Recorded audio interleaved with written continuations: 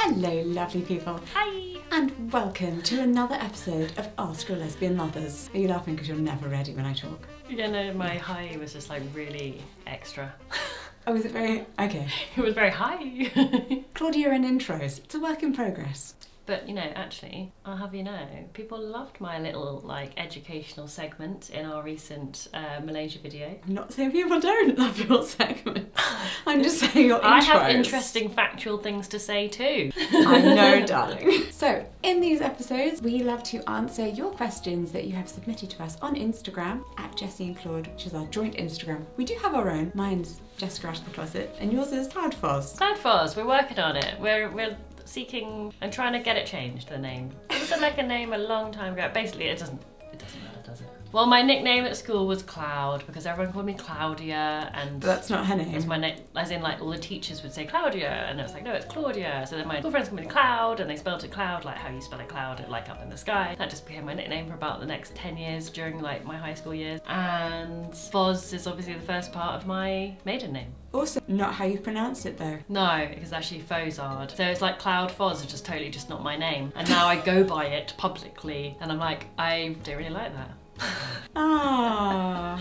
So to bring that back around, our joint Instagram at Jessie and Claud is where today's questions were submitted. And we answer your questions as the proud mums that we are. It's mum advice. Or mom advice. You're American. Mom. Mom. Well, it depends whereabouts in America. I don't think they will say mom. Some might say No. ma'am, No. I think that's how Americans say mom. I like the British. Let us know in the comments what you call your mother. No, no, no. Your country's word for mother. I don't mean what you call your mother. That might end very badly. Anyway, it doesn't really matter. It's not. We're not actually real mums. We are real mums. I mean, we're not your real mums. We have a genuine child. Yeah, I bet. We are actual They parents actually to like a child, him in my Claudia. tummy and birthed him, and you like you were there at his conception and everything. What is your favorite ice cream flavor? I don't know why you said that with such enthusiasm. What is your favorite ice cream flavor? What's yours? Um, I really like stem ginger. I know it's really specific, but if I'm at the theatre, can I just sum you up for that one? Like, I, if I'm at the theatre and that they is have a really like theatre specific and they have like flavour a stem though. ginger ice cream with like clotted, made with clotted kind of cream milk. Oh, so good. I think I'm thinking of a very specific ice cream right now. Okay, so one brand. Gotta like, you know, supporting local. you support the small business. Yeah, That's very and the, good. like local cows. Okay, mine is. Let me guess. Strawberry. Why? I know you don't like chocolate. I know No. you're not like you wouldn't really go for vanilla. Like you like vanilla, but Oh. like if they had a range of options. I mean, oh yeah, that's true. So you um, don't often I come don't- across sugar-free strawberry ice cream, and if they do, you're like, woo! Yes, so, and my body can't really handle sugar, so I don't eat sugar. But the non-sugar version is generally always vanilla. So I'm like vanilla Or chocolate. Oh yeah, or chocolate. Or in which case coconut. I just don't have anything. Or coconut. because it's made of coconut milk, which is actually quite nice. Yeah, so coconut. Coconut is generally quite So nice. So what is your favourite? Well, this I is meant to be a quick fire one. Oh no, it's a quick fire question. Ah. we can't answer if, anything. if it could be any flavour in the world at all, pistachio is quite nice. Um, Nutty and ginger. Hmm. You had a pistachio sugar-free ice cream once when we were in Italy. I did. Yeah. Italy is I so think it was in Rome, good it? for allergies. Like uh, people don't tell you that, but traveling, when you're traveling, you don't think of Italy as a place that's really great for food allergies, but it actually is really amazing. They have a really high rate of celiacs. I mean, that's just one type of allergy, but I yes, I don't know why that relates to also being good for sugar-free things, but they are really good for sugar-free things. So, next quick fire has to be quick. if you got married again, would Rue be the flower pal? Yeah, unless Did we get divorced Yeah. and then remarried? or Yeah, that's right. Or if we're not, or were we not ever married, and then we decided to get married. oh yeah, we have friends who did that. If we were going to get married like this year, next year, then yeah.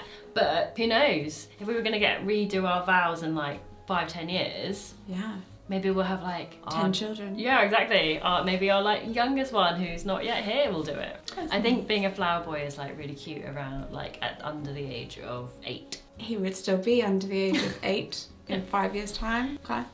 Um, he would love that though. Getting to dance down the aisle, throwing petals around. His dream. That's not normally what they do, but like, Oh, is it not? They don't dance down the aisle throwing petals. No, they just like they carry the cushion with the rings on it. No, that's a ring bearer. The question was, would he be the flower pal? Oh yeah. So yes, he would dance down the aisle, throwing petals around. Turns out I know more about weddings. All right, well, moms, can you tell me? You know, I'm trying my best, and you're so proud of me for it. I'm on it. Right. Hello, darling. It's Mama. I just want to let you know that I can see how hard you've been trying recently. I know that things have been a little bit tough, but you have been trying your absolute hardest. And I can really, really that I'm so proud of all of the hard work that you put into everything you do, all of the effort, all of that energy, everything that you put your heart and soul into. And I know that it can take so much out of you, but you're doing it so well. So much of this world can be focused on what the outcomes are, on what our product is, on how productive we can be. But I think that sometimes we should be proud of just the hard work that we put into our things and the effort that we've put forth into the world. But I want you to know that when I see the effort, the energy, and the love that you put into everything, I couldn't be prouder. I was like vibrating earlier on when we were on that like call, and then I was like, "What? This is," but I didn't notice until the vibration stopped, and I suddenly realised my whole body had been vibrating, Oh, and I was like, "That was weird." I was like, "What did I take this morning?" we are so normal. Were you scared about something going wrong medically so far away from home? No, because we had travel insurance. Yeah. Oh, what's that written here? Oh, oh, it says we're in the ad section of the video. I was like, like, "What the hell?" I have to say the number one most important thing that I need to have when it comes to travel is drumroll. Travel insurance. Yeah, Sorry. okay, you took my drumroll. I'm someone who has a health condition and a disability, so I find it really important. And who do we use for travel insurance every time? Compare the market. You're good at this. I love, personally, that the website takes into account my health before showing me prices. As a person with a chronic illness and disability, I like to have peace of mind that I've taken out the right travel insurance for me, which could help to protect me should anything ever happen. So I know it's personalised to me and I know what rates I'm going to get. And I can compare them. Compare the market. It's in the word. The name. The name.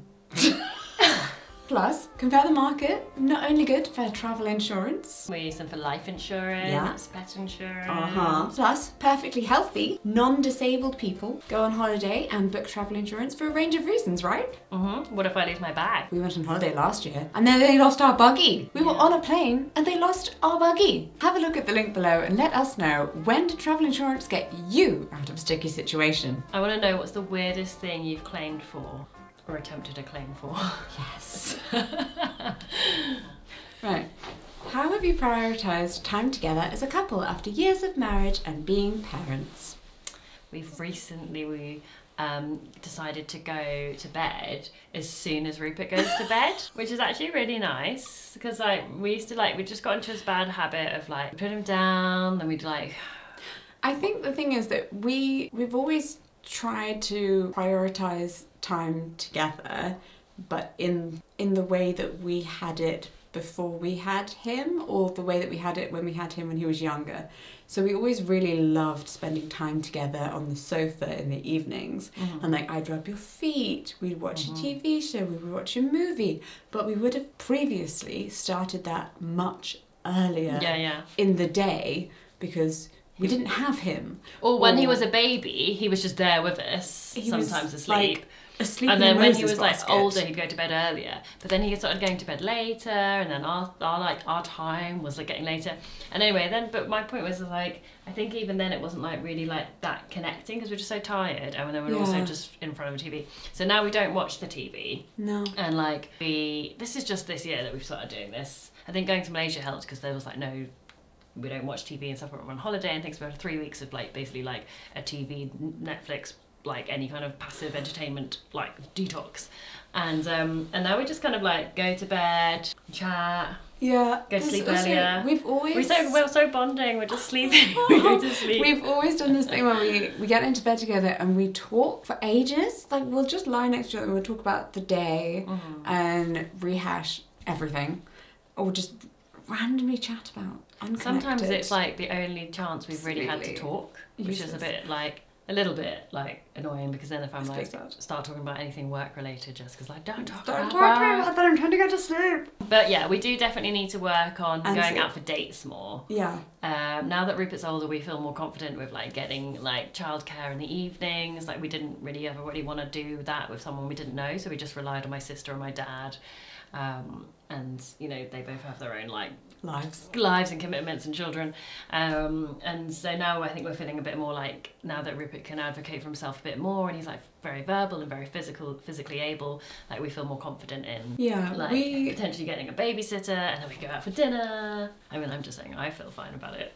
I mean, we've also we've we always have had a very specific style of parenting with Rupert that gives Rupert a lot more autonomy and respect, and so it's difficult to bring in another adult unless we know that they also follow that. Unless, like you're saying, now we've got to a point with Rupert where we know that it's just not going to fly. And previously, if we did have someone else treat Rupert in a way that he was not accustomed to, the fallout for us just Mm. wasn't worth it. Yeah. It would be like, oh, we'd get to go out for an evening while someone else looked after him. yeah. But then He was like, we get five nights of yeah, he used to be sleep. really. difficult evenings because he's like, someone touched me and I didn't. He was like- really, yeah, he's really into his routines and his like, which some people could argue is because we don't, we haven't introduced him to other things. But I think it is just personally him.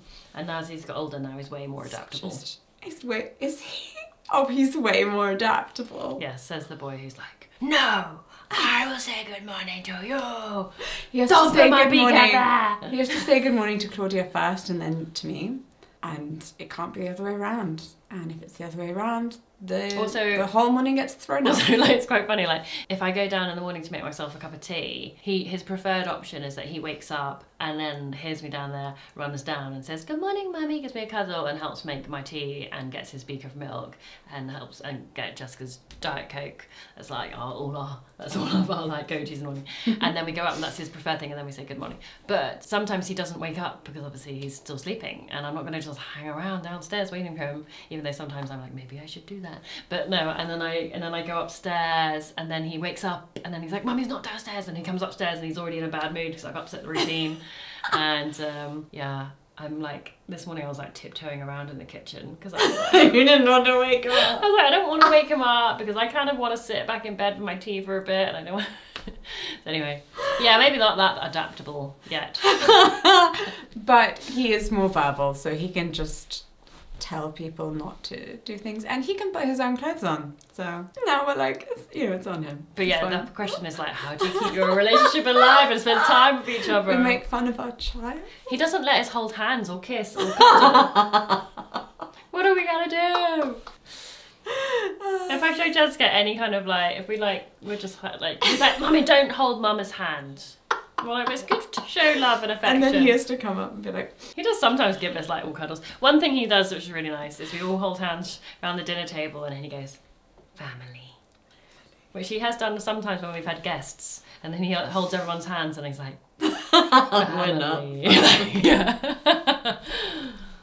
I think some people who come oh. around who aren't used to it are like, "Oh, are they?" Are they religious? Religious? Are they going to just say some grace? So funny? like, yeah. it's his version of grace, I suppose. yeah, it's grace Yeah. for like thankfulness for all of us together. Yeah. That's Don't worry. time we're permitted Don't to worry about it. She was she was kidding. Our relationship has not been ruined by having a child. Obviously, or else we wouldn't be trying to have another one.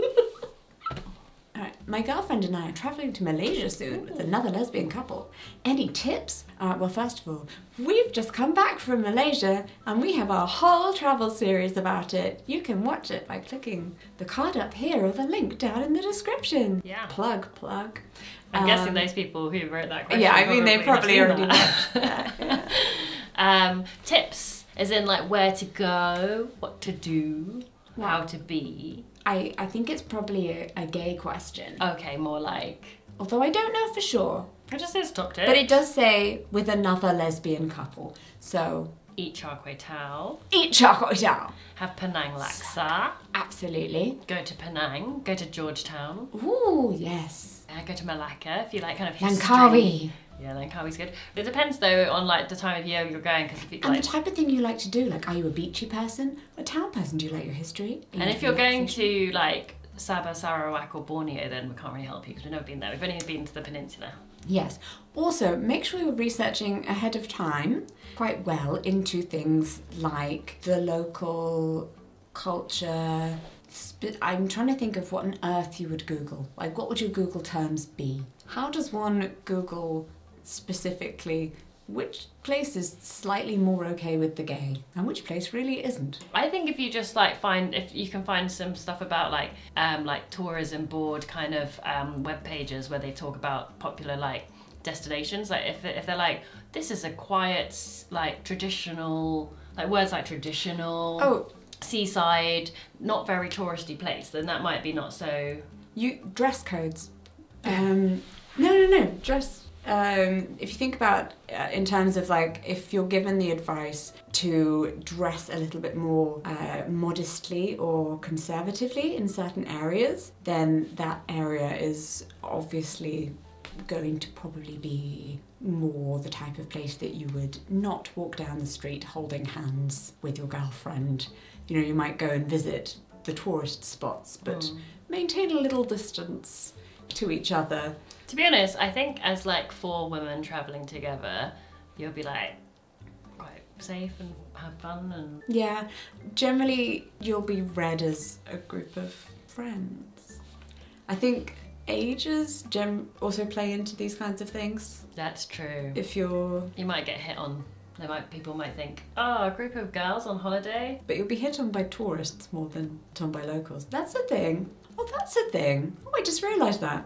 You know, all the places that we have been on holiday together, Mm, yeah. I have never been hit on in by Malaysia. like local Malaysian yeah. people in Where Malaysia. that That's so nice. We did, but we but when we went to Penang and we stayed on the beach, there were quite a few people there who were being annoying because I was using my camera and taking photos of you, and they were like, "Oh, I'll take a photo of both of you," and like blah blah blah, and like undermining like my photography and trying to like flirt with us, which I getting really annoyed about. Yeah, I, I mean, they were taking their own photos though, so I think they weren't locals. No, they weren't the locals, no.